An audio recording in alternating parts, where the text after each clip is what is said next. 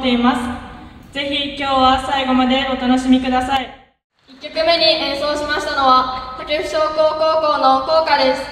3年前に竹府商業高校と竹府工業高校が併合し新しく竹府商工高校となりました。新しくできた校歌の作詞は私たち吹奏楽部の OB でアニメ「ワンピースのエンエンディングテーマを歌うなど歌手として活躍されている大月真紀さん。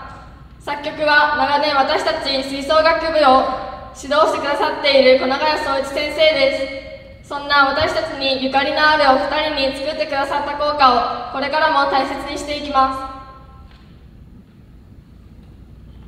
す。次に演奏しますのは今年度の全日本吹奏楽コンクール課題曲の一つ天野正道先生の「レトロ」です。この曲は少し古い感じのポップスの形式で作られています。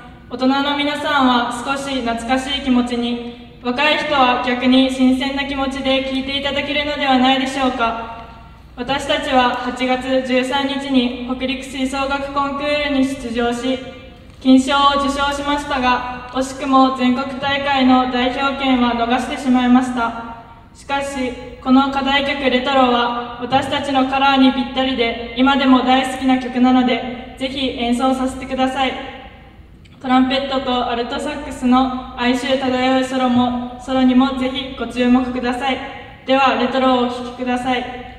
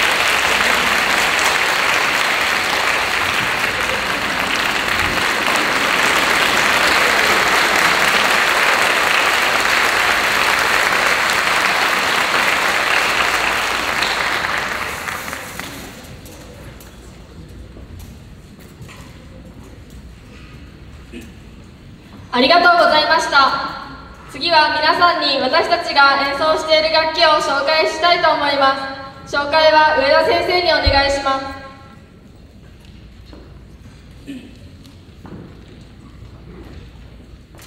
あら改めまして、えー、こんにちは。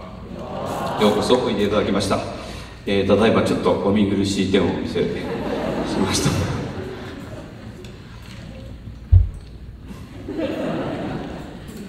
はいやる気満々ですね今日ね、それでは、えー、吹奏楽で使われている、ね、楽器をあの紹介させていただきたいと思います、えー、吹奏楽を大きく分けて4種類の楽器で構成されています。まず木管楽器の人。木管楽器。金管楽器。打楽器。そして弦楽器。はいこの4種類で構成されています。それでは木管楽器から順番に紹介していきたいと思います。まずはフルート。フルートパートですね。フルートとオクターブ上。高い音が出るピッコロで構成されています。まあねよく言うのは、まあ、お嬢様的なね、えー、お嬢様方が演奏する楽器ということですけど福井のお嬢様3人で演奏していただきたいと思います。じゃあピッコロとフルートの音色をどうぞ。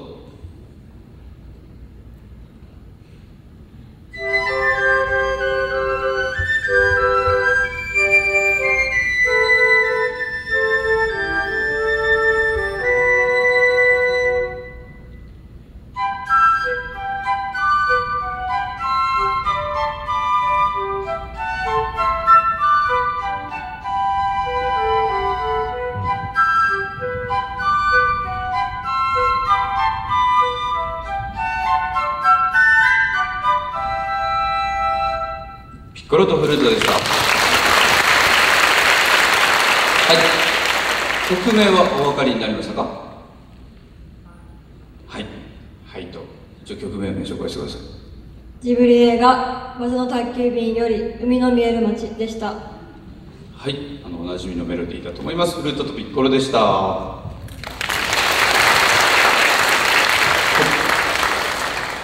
次はなんか遅れてきたみたいですけどがいるなんか大丈夫ですか？はい。え次はです。オーボエです。オーケストラなんかでもねソロでよく、え出てきます。とても素敵な音色がしますけど素敵な音色で吹いてもらえますでしょうか？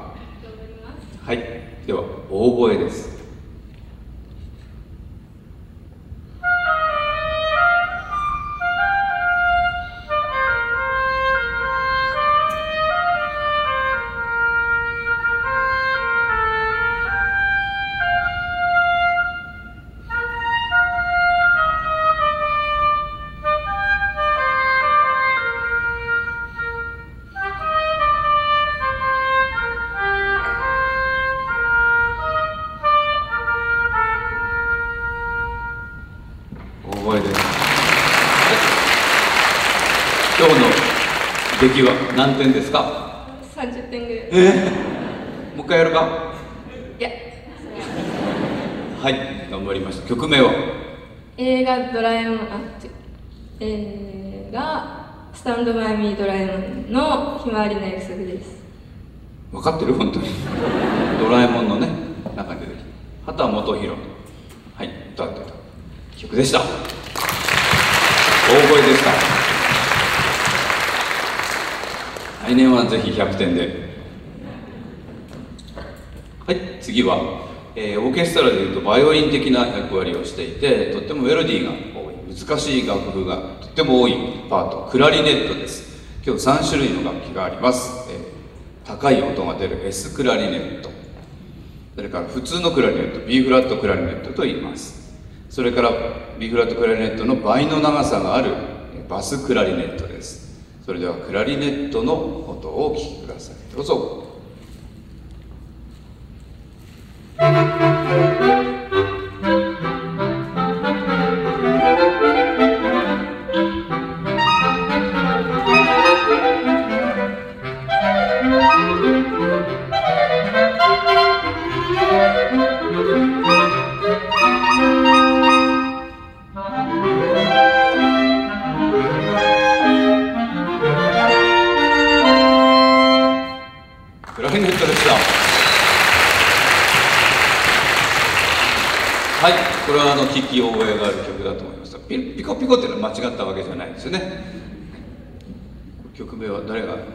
ですか？ゴーゴーマリオです。はいということでマリオのゲーム音楽でした。クラリネットでした。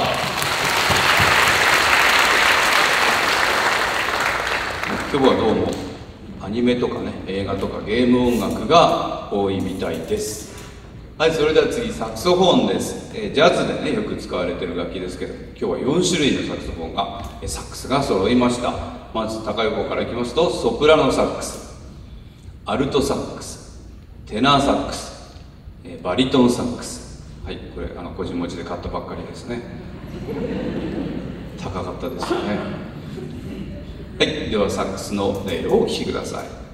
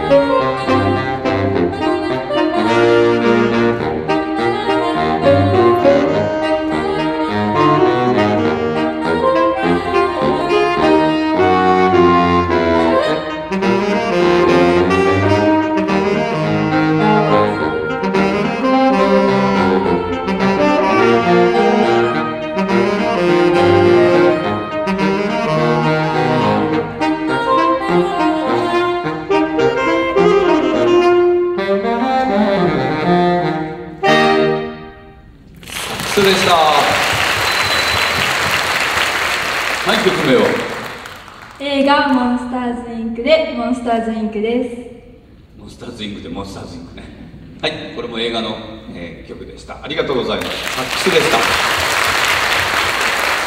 はい。ということでここからは金管楽器になります、えー皆さんご存知のトランペットです。ね。金管の花形って言われてますけども今日は先になんかついてますね、えーミュートという弱音機がついてますけど。これがついているってことはそういう曲をやってもらえるということで関西に来たからにはこの曲をお願いします。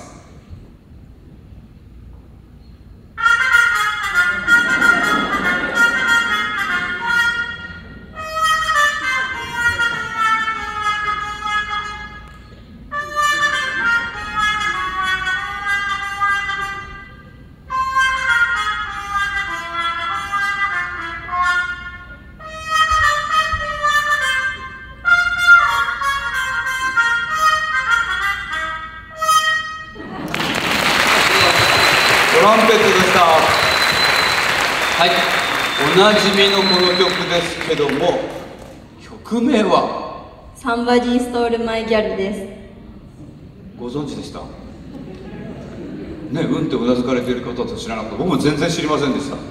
てっきりね吉本オリジナルだと思いましたけども。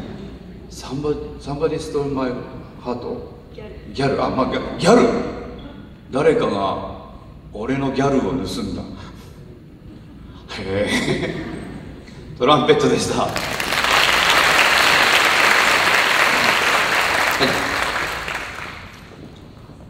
次は、えー、カタツムリとも言われていますね、えーオーケストラでも大活躍。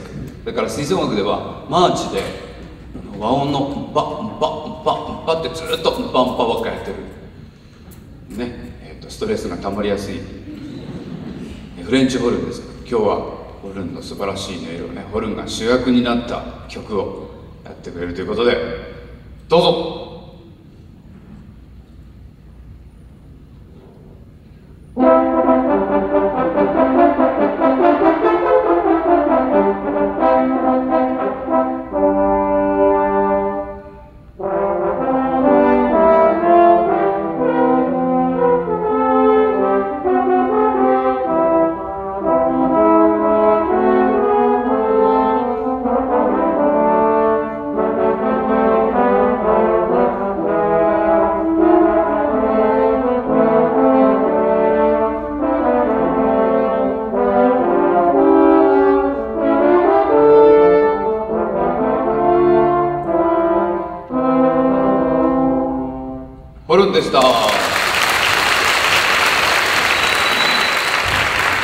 はい。今度またゲーム音楽になりましたけどもはい。曲名はドラゴンクエストの序曲です。はい。大活躍でしたねホルンはい。ホルンありがとうございました。はい。次はトロンボーンという楽器ですね。トロンボーンは、えートランペットとかホルンみたいにこうピストンがなくてスライドのねこれで調整してえー音を変えてしまうっていうのは非常に、まあ、アナログ的でいい加減な楽器ですね。はい。ではトロンボーンの音色をお聴きください。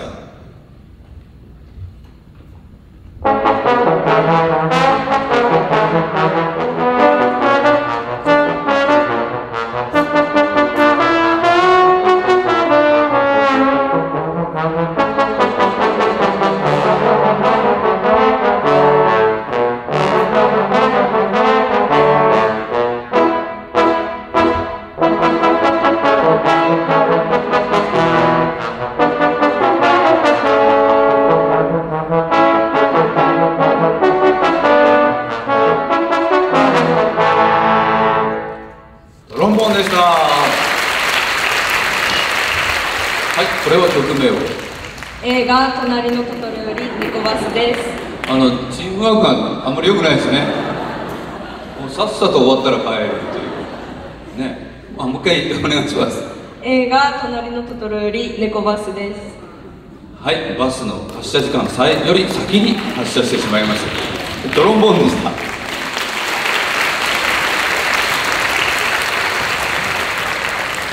はい、えー次に出てきます楽器吹奏楽にはありますがオーケストラにはないのであまり馴染みがないかもしれません。しかし、えー近年ですね「響けユーフォニアム」っていうアニメ作品でこのユーフォニアムっていう楽器が知られるようになってきました。響けユーフォニアムアニメご存知の方は？あ高校生はみんな知ってますね。あとは一般の方は7人の方。がご存知のようですけどもユーフォニアムとても素敵な音色で、えーメロディーを歌うのに適した楽器なので、えー今ハードルを上げてますよ、はい、とっても素敵な音色でもうビブラートが素敵でうっとりしてしまうような。大丈夫ですか？ユーフォニアムです。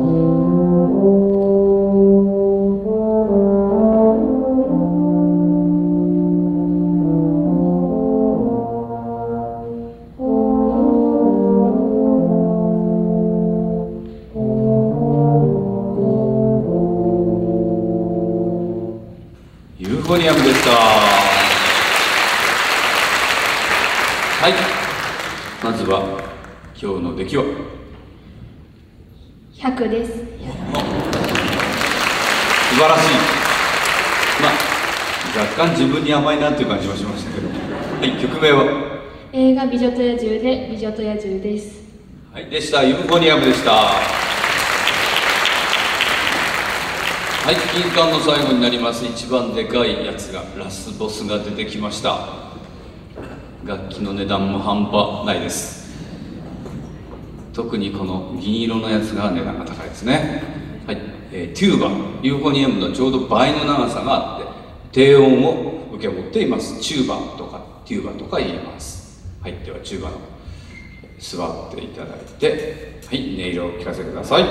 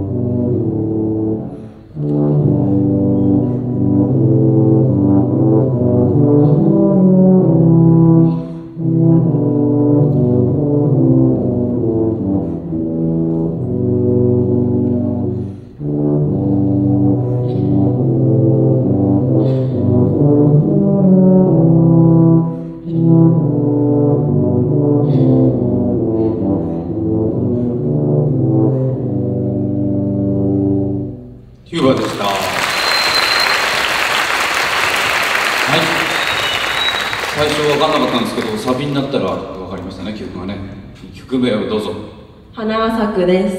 はい皆さんご存知だと思います。花は咲くでしたけどこれ英語音楽ですか？東日本大震災の復興支援の曲。そうですね、はい、みんな映画とかアニメをやってる中でね我が道を行った花は咲く中和でした。はい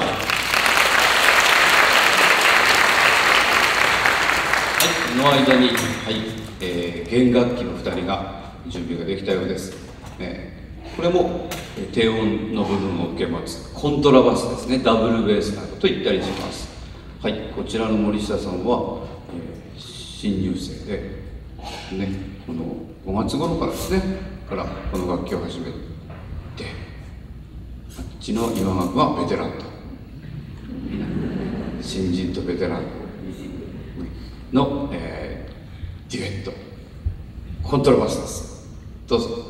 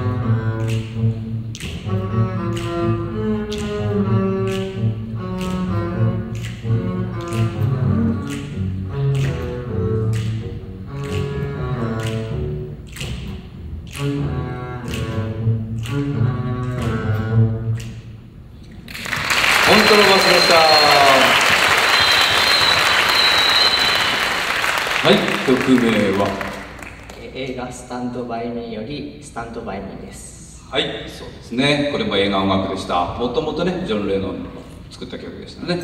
はいコントラバスでした。はいということで最後になりました、えーパーカッション打楽器なんですけどもまあいろんな楽器がありますが今日はこの楽器で、はい、使わないのもありますけどね、はい、じゃあこれでいろんな打楽器を、えー聴かせていただきたいと思います。どうぞ。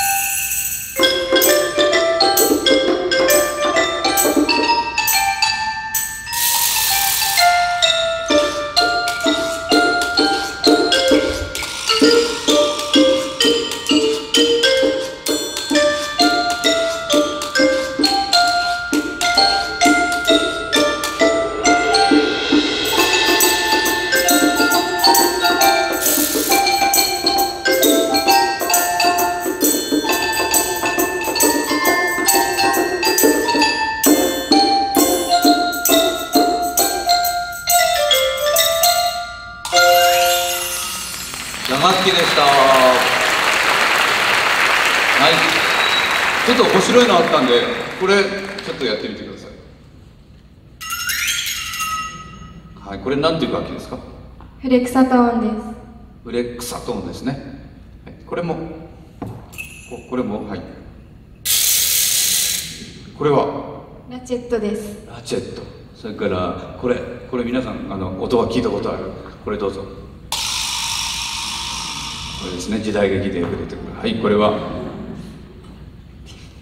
ちょっと待って。知らないの？えっとこの間から練習の時にえこれの音がどうのとかこれをどうやってって何回も言ってるよね。で彼女もあの新入生で。で打楽器を高校入ってから始めたんで。はい今カンニングしました。はい。ビブラスラです。ビブラスラです。間違ってますね。正しくは先輩。ビブラスラです。ビブラスラップです。覚えておくように。じゃあもう一回やっとこう。せっかくだからはいはビーブラスラップです。いはいありがとうございましたはいそして曲名は何でしたか？夢を叶えてドラえもんですはい、ドラえもんでした。ありがとうございました。はい、ということで、えー各楽器、えーの音色を聴いていただきましたが、えー曲の中でどのように出てくるかっていうのを、えー次の「見上げてごらん夜の星を」を演奏してお聴きいただきたいと思います。各楽器が、えースタンドで、えー演奏、メロディーを演奏します。「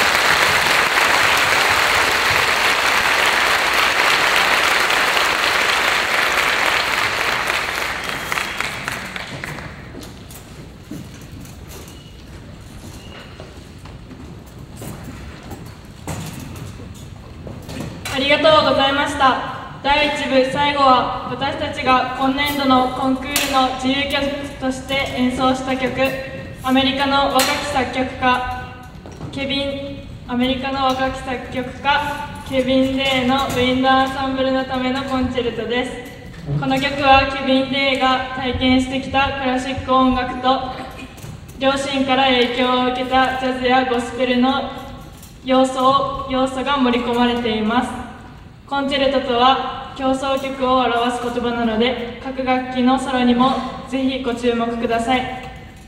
全5楽章の20分近い対局ですが今日は2345楽章をカットして演奏します。目標としていた全国大会出場にはかなえませんでしたが私たちが精一杯作り上げたこの曲をぜひお聴きください。